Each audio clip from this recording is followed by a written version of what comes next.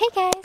So if you saw my Instagram like a month or two ago, I revealed that I got a tattoo because I really wanted one and when I turned 18 I was like, yes, tattoos! Um, well, not, I'm not gonna get like a whole bunch, but I'm just gonna get a few meaningful ones. So now I'm going to reveal to you my first ever tattoo. oh, I don't have balance. To have it there means like that my story's not over and I'm continuing to live on and make my own history. So that's basically why I got a semicolon, even though it's kind of like this trendy thing. But for me, I don't really tell people that I have a tattoo because it's really personal.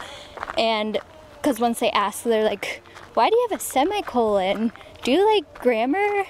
And then I just have to explain it to them and it's it's weird because they don't really understand. I don't know, I might get a tattoo while I'm at college this year before Thanksgiving, but I just kind of want something that's meaningful to me. I don't want to go out and get a tattoo. I really want to get a orange ribbon and a green ribbon.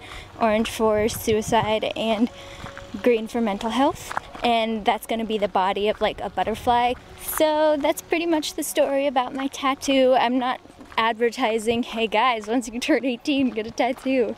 Um, obviously, it's not for everyone. I just got one because it reminds me every day to stay strong, which is something that I preach to you guys all the time on here.